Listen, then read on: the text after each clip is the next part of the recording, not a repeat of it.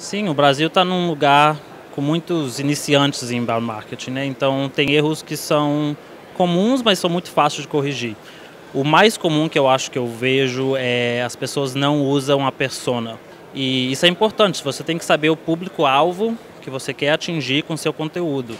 E o jeito de corrigir isso é muito fácil, é só criar a persona, mas em cima de criar a persona é também criar o conteúdo que vai atingir essa persona. Muitas empresas têm duas, três, quatro, na HubSpot temos quatro ou cinco, e cada peça de conteúdo que criamos, temos em mente qual persona que isso vai atingir.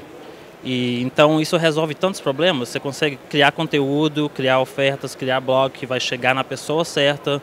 Sua taxa de conversão vai subir, não vai ter só visitante, mas vai ter pessoas que estão convertendo virando contatos, clientes. É, então é muito importante e tem que ser o primeiro passo quando você vai começar com o inbound.